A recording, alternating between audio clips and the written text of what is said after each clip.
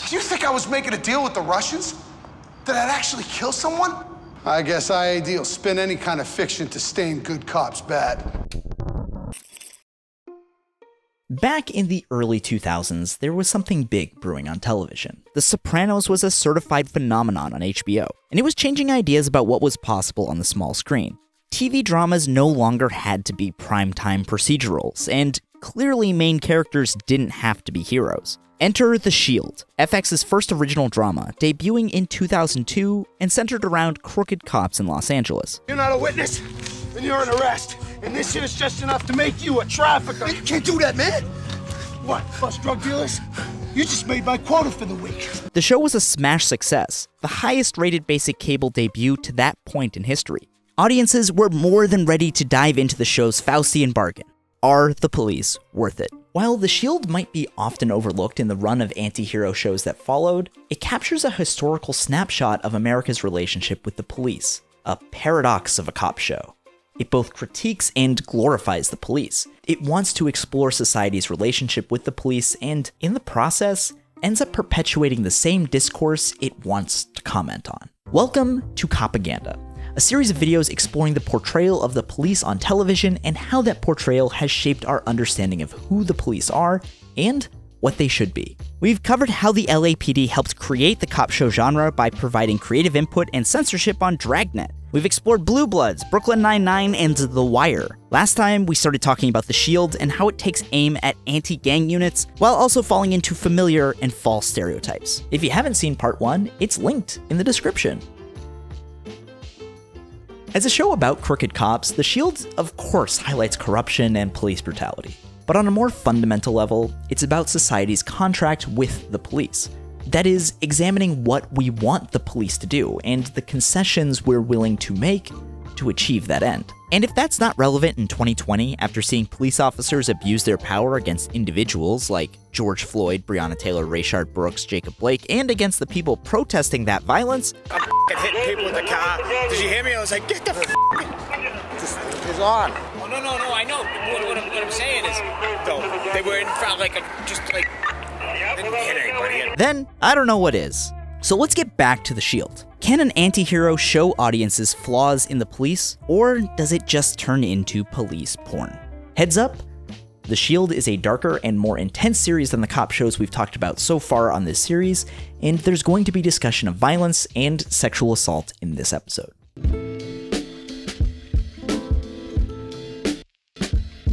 Right now, Vic Mackey must look like a mighty big catch to you. Do the smart thing, though, son. Cut bait. Doesn't bother you the things he does. I don't judge other cops. Mackey's not a cop. He's Al Capone with a badge. Vic Mackey is the main character and central anti-hero of the Shields. He's a corrupt cop, using his badge to insert himself into street crime, selling confiscated drugs, and beating the ever-living shit out of suspects.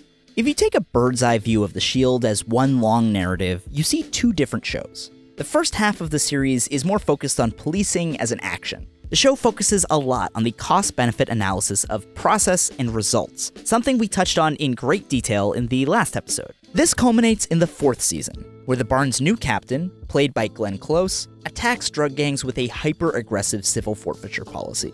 Basically, the police seize anything they even suspect to have been purchased with drug money, taking houses and evicting families. It means any property bought with drug money or used to facilitate the drug trade can be seized. That whole storyline of the show is fascinating, but kind of a tangent for what I want to talk about right now. If you guys are really that interested, tell me in the comments and I'll see if I can make a bonus video for it on maybe on Patreon. Maybe may, you know, maybe if you you know become a patron on Patreon and you you send me a note there, maybe I can I can um I can do it. But I want to focus right now on the back half of the series, from seasons 5 through 7. They're all about reckoning with the monster we've watched while glued to our television screens. That endgame is all about Vic Mackey's soul. Now, usually in this copaganda series, we've looked at systems and how these cop shows portray them, for good or for bad. But with The Shield, I think it's pretty essential to talk about the psychology of a single character, of the show's central, difficult man. I've talked briefly about difficult men on this channel before, in both my videos on Killing Eve and Netflix's You. But I think it's important to dive a little more deeply here because of the subject matter. Difficult Men was a term coined by author Brett Martin in his book Difficult Men, colon, behind the scenes of a creative revolution, colon, from The Sopranos and The Wire to Mad Men and Breaking Bad. Brett, my man, chill it with the subtitles. Anyway, Martin outlines the trend of difficult men in 21st century television, how audiences came to root for male protagonists ranging from damaged to anti heroes to outright villains. He describes this archetype as, quote, a monster, but a person we root for and care for despite his monstrosity. And I think that when this archetype is applied to characters like Vic Mackey and Shane Vendrell, police officers who are supposed to be heroes, the idea of the difficult man takes on a new meaning in the context of the police. We view Vic through a paternalistic lens, seeing him and his goons as our protectors. We don't condone the way they're doing it, but on some level we feel that it must be done, and that this might be the only way to do it. What people want these days is to make it to their cars without getting mugged. If having all those things means some cop roughs up some nigger, some spick in the ghetto, well, as far as most people are concerned, it's don't ask, don't tell. It's the same kind of logic that made audiences fall in love with Jack Bauer on 24, a craving for some kind of badge daddy to make the bad guys go away. They might not give a damn about civil or human rights, but they're doing it to protect us from the evil of gang violence. See, but the problem with this is the police aren't a jury of our peers. And again, it's important to point out a racial element. The strike team is white, and nearly all the suspects and criminals on the Shield are racial minorities, which gives the whole protecting society from evil idea a bit more of a loaded meaning. This weird melding of difficult men and police is what makes the Shield so potent as a piece of police media. It reveals the underlying slack that we're willing to give the police despite their acts of brutality and corruption. With all difficult men, audiences make excuses for the actions of their target antiheroes, something that probably reached its apex with Dexter. I mean, yeah, he's a serial killer, but he only kills serial killers, so it's fine. That's my review of Dexter. Vic Mackey is no exception. He's trying to create a retirement fund for his family. His kids are autistic and require special attention in special schools. He wants to get drugs and violence off the streets. Well, unless he personally has control of them. Now, Vic is not the first difficult police officer in pop culture. In film, this trend is a bit older, epitomized by movies like Dirty Harry and Judge Dredd. Still, even on the small screen, Vic isn't the first difficult police officer. NYPD Blue, one of the most commercially and critically successful TV shows of all time, features Andy Sipowicz, played by Dennis Franz. Sipowicz is a drunk. He's violent, he's bigoted, and just an overall asshole. Hey, Ipsa you pissy little bitch. Yet, given the time the show spent on his inner life, presenting all of his flaws in abundant context, audiences loved him. NYPD Blue ran for 261 episodes, ranking in the 20 most viewed programs on TV for each of its first seven seasons. Sipowicz was a pop culture icon, idolized by the likes of George Costanza and Homer Simpson. Oh, but Sipowicz does it. If Detective Sipowicz jumped off a cliff, would you do that too? Oh, wish I was Sipowicz. And for this role, Franz won four Emmy Awards for lead actor in a drama, tied for most all time with none other than Bryan Cranston's difficult man, Walter White. Sipowicz walked, so Vic Mackey could run and go kill people. The list of awful things Vic Mackey has done over the course of The Shield is lengthy. The Shield's wiki cites at least a dozen instances of him committing or being an accessory to murder, the incomplete list of tortures and assaults is nearly twice as long, and doesn't even include this gem. Smooth's my bitch, which makes you my bottom bitch. Now, I'm not trying to tally up the ledger like this is an episode of The Good Place. We're not adding up all the positive and negative things Vic has done to figure out if he's been a utilitarian asset to society. His actions taint everything he does, and everyone around him and the show goes to great lengths to illustrate this. Something we'll discuss in more detail in the next section of this video after I give you a good old spoiler warning. But Jackson, what about criminals? Weren't you just going on about how crime doesn't define a person? Isn't that true for Cue Ball over here? It'd be one thing if this wasn't a total double standard. Criminals on the Shield are treated as inherently villainous or broken, while Vic is afforded over 80 hours of nuance and exploration. He's lining his own pockets and abusing the power society has given him. I don't think that The Shield is trying to explain away Vic's actions, but to put them into context, and I think that idea is fine on its face. It's just really messed up when the show is contextual and nuanced when it comes to the crooked white cop, and that it's black and white with literally everyone else. This is a problem inherent in all difficult men shows. Audiences have often sided with the criminal actions of their main characters and torn down any character who challenges them, despite their actions clearly being wrong. But it hits different when it's the police. We entrust the police to serve and protect society, and Vic isn't doing that. Sure, he does good things. We see him care for a CI and get her off heroin.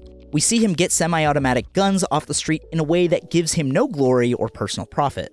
The Shield wants us to ask, but at what cost? And I think that's just not the right question. It assumes that the only way to get the good Vic does is to accept the unspeakable evil, that there's no other way, and that's just a false choice. In 1973, one of the leaders of the French New Wave film movement, Francois Truffaut, was asked why there was so little killing in his films. His response, quote, I find that violence is very ambiguous in movies. For example, some films claim to be anti-war, but I don't think I've ever really seen an anti-war film. Every film about war ends up being pro-war. And I think this is the same struggle The Shield has with portraying a difficult man, a villain, as its main cop. The show might have intended to indict Vic and Shane and the rest of the strike team, but damn do they make those raids look cool. Brett Martin quotes creator Shawn Ryan in his book Difficult Men. Quote, If I said to you, I'm going to have a story about a corrupt cop who murdered another cop and stole a bunch of money, and that there's a pretty virtuous internal affairs detective who starts digging into the case and becomes hell bent on bringing him to justice. Who would be the hero in that piece? Ryan said, referring to the character played by Forest Whitaker, who enters in season 5 and sets the final downfall of Mackey into motion. But our audience viewed Vic as the hero. They wanted Vic to get away with it. They found every negative thing to say about Whitaker's character they could think of. When we wrote it, I was convinced, boy, we're really gonna make it tough for the audience. They are not going to be sure who to root for. I was an idiot. They knew who to root for. Theoretically, making an anti hero cop show should have left a black mark on the police. It should show us the capability for monsters in areas of trust. Instead, it backfires. You are my personal hero.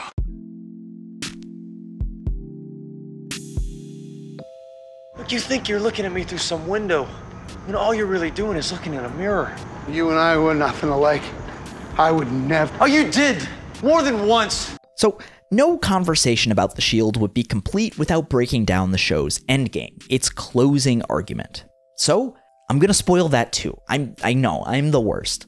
I'm gonna spoil the end of The Shield. It's I'm I'm so disappointed in myself as a TV critic, but this is what we have to do, okay? If you don't want the end of The Shield spoiled, do not watch this part.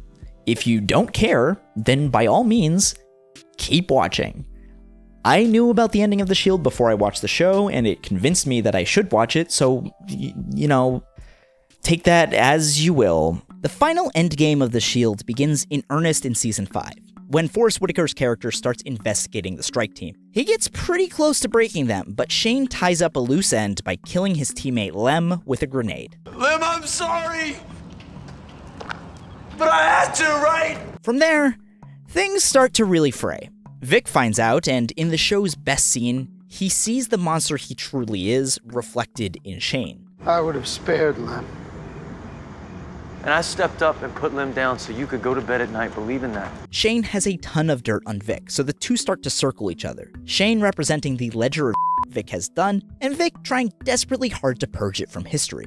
By the series finale, Shane is on the run, and Vic has secured a deal with ICE, giving him full immunity for every terrible thing he's done in exchange for him taking down a Mexican drug cartel. Do you have any idea what you've done to me? I've done worse. With Shane's leverage gone, he and his accomplice wife face prison, with their son growing up in foster care and their daughter being born behind bars. In classic Vic fashion, he pours gasoline on the fire. I'm gonna check in on Jackson and this other kid once a year on their birthdays. I'm gonna tell them some good old stories about Ma and Pa. Must their hair.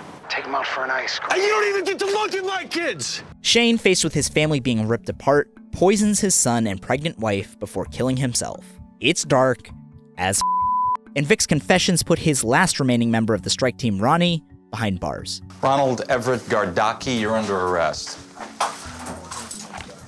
For what?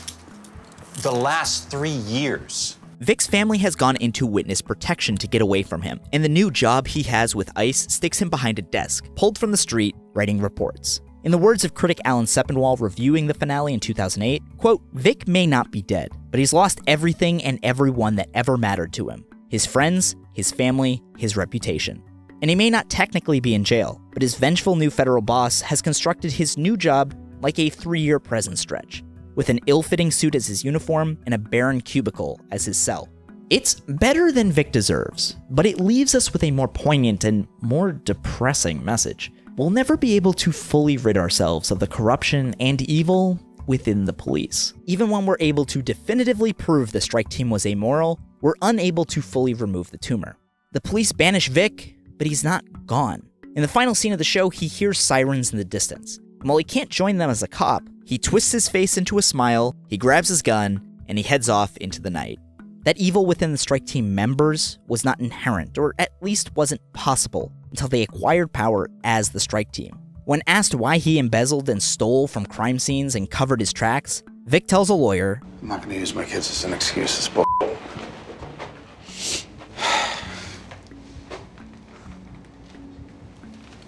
It was easy, all right? I was clearing twice as many cases as anyone here. I worked my ass off. I knew I was making a difference, so I took some from me. Me. City got their money's worth, trust me. It's power that corrupts the strike team, a total lack of oversight turned into personal profit. And once it starts, that corruption spreads to even the innocent bystanders. Anytime superiors try to rein in Vic and Shane by putting good cops on their squad, those same good cops end up doing no warrant raids in order to fit in. Hell with it. Or they were killed, like Terry Crowley. In Shane's suicide note, he spells it out. The guilty ones are me and Vic. Vic led, but I kept following. I don't think one's worse than the other, but we made each other into something worse than our individual selves. I wish I'd never met him. In the words of Sepinwall again, quote, if Shane is a monster, he's a monster that Vic created, and the difference between the two men is a matter of degrees, not kind. I think greed for power is an easy stand in for Vic here. A craving for domination incarnate. He always needed to be the most macho guy on the street. He needed to manipulate everything from behind the scenes. He needed to control everyone and everything around him. In short, he needed a monopoly on violence. And in a job that inherently holds a monopoly on violence, it's a disturbing message about the possibility, or perhaps inevitability, of corruption in our police system as it currently exists.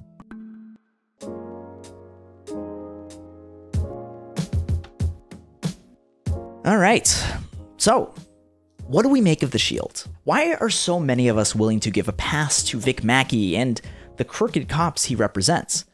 After all, power corrupts, so why would the police be any exception? What are you, IAD now? I think I've spent more time in 2020 thinking about The Shield than just about any other TV show. And that's not just because of the text of the show, what the show is explicitly saying, but the paradox the show represents. To me, it feels like the creators of The Shield really hate how much they love to hate how much they love cops. I also want to be really upfront about this. It might be really macho and whatever, but I really dig the show and not just because I'm interested in that internal tension. I started watching the show for this series, with a copaganda perspective in mind, and I still thought it was excellent. The show is undeniably interesting in the way it confronts its audience with the potential for horrific acts of brutality that defenders of the police want to ignore. It is absolutely a positive for the show to clearly outline why the blue wall of silence exists, how it persists, and why it's damaging to justice. But at the same time, if you've only seen this video, there's a good chance you're thinking, well, yeah, of course the Macho Dumb Show is propaganda. It glorifies violence. It shows hyper competent police patrolling a thin blue line between the civilized world and an army of people trying to leech off of society, written entirely by middle aged white dudes. Here's how executive producer Glen Mazzara put it. Now, do you think the show holds up amid the Black Lives Matter protests? I would say yes and no. I would say yes, it does in the sense that it does show police brutality. It does show cops reveling in their power and getting away with it and no one holding them accountable. We, we had no interest in making our cops heroes. What doesn't hold up is, and we recognized this at the time, that show was written by a group for predominantly of white middle-aged guys. Right. If the Shield was being done today, it would really have to include voices from the communities that are being affected by the police. Even the good cops that are held up in contrast to Vic subscribe to really troubling philosophies about criminals and justice, implying the inherent brokenness or evil of some people in society, that we're just waiting for them to commit crime so we can spot them. Let me get this guy. I want to administer the needle myself. Still, the portrayal of crooked cops on The Shield is pretty unparalleled on TV. Usually, crooked cops exist as villains or bad apples that exist for good cops to purge. They're not main characters. But if the LAPD scandals of the 80s and 90s and the police brutality of 2020 have shown us anything, is that this kind of corruption isn't an isolated incident. I don't know. Maybe I'm just making this show out to be something that it isn't. Shawn Ryan and his team did say that they just wanted to sell Budweiser and deodorant. Maybe the creators didn't really set out to make an anti cop show, and were just inspired by the inherent drama of police scandals. At the same time, I don't know, there's a lot of depth and commentary here. I mean, who else was talking about civil forfeiture to a national audience in 2006? In some pretty prominent ways, though, The Shield fails to critique its main characters in a way that many difficult men shows do, at least for their target audiences. I mean, The Shield is a middle aged male fantasy, right? A middle aged man action hero as the strongest, toughest protector of society. There are plenty of comments on YouTube clips of the show saying, Vic is the man, or something to that effect. There's a Reddit thread asking fans when they stopped rooting for Vic, and most of them say some point at the very, very end of the show, rather than the first episode. In some ways, the question The Shield poses to us isn't just about the police, but about the show itself. Is it worth it? In my opinion, an institution that can create a Vic Mackey is not something that should be revered, which I think The Shield would agree with. Both the opening and closing arguments are about the collateral damage of corruption, but it also dresses that corruption up in the shape of an action hero. As Truffaut said, it's really hard to make an anti war film because you end up glorifying it. It's easy to read The Shield charitably in the way that I think I am here, as media that shows us an inevitable product of our police as currently constructed. But it's also equally easy to read it as wish fulfillment, reinforcing really harmful us versus them narratives about police and community. There's no easy answer. I really wish there was. It would it would really be better. It would be better for me. This series would be a, a lot better if there was an easy answer. But I've been thinking about this for like a year and I got nothing. I think the important lesson to be learned here is to hold competing ideas at the same time. Is the Shield propaganda? Without a doubt. Is the Shield critical of the police? Also, definitely true. I think so often in criticisms of these shows, it can be easy to fall into the same black and white worldview that I often criticize TV cops of having. This show good, this show bad. What I think is much more valuable is to examine what ideas are put forward, why, and what that says about us as a society. Whew. Thank you so much for watching. Please share, like, subscribe, do the YouTube things. If you really like the channel and you want to help this project, hop on over to Patreon. You can get my notes, my addendums to these videos, my other TV reviews, and early access. You can also get my year-end TV rankings and recommendations, which I do a little bit different than a lot of people, but you know, what I think you would like it. Next time, we'll be talking about the most expensive and lucrative TV series of all time, one that just so happens to be about global policing. I am, of course, talking about Captain America in the Marvel Cinematic Universe. Thanks again, and we'll see you next time.